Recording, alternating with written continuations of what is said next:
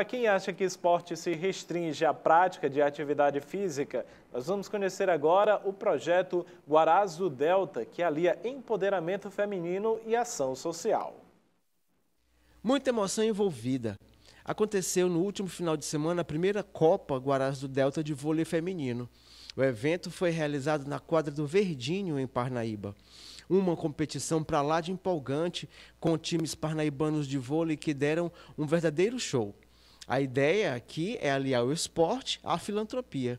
A Ariana faz parte das Guarás e explicou a iniciativa. É muito gratificante para a gente, além de incentivar o esporte na nossa cidade, de juntar propósitos de mulheres, né?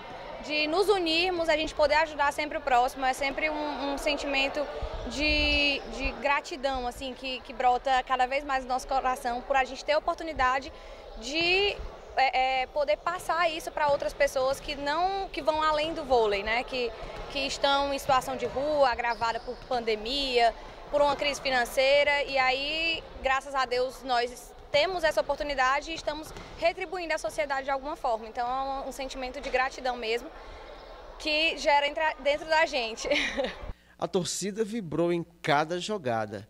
Sael Marinho, organizador do evento, falou sobre como a iniciativa é importante para a cena esportiva da cidade e dá destaque ao trabalho social realizado pelas Guarás do Delta. O Grupo Guará está comemorando no mês de julho um ano de, de que essas mulheres bem-sucedidas na cidade para começar a, começar a praticar vôlei. Elas estão treinando há seis meses comigo e tiveram a ideia desse mês todo juntar a parte esportiva com a parte social. Temos uma, uma crescente do voleibol impressionante na nossa cidade.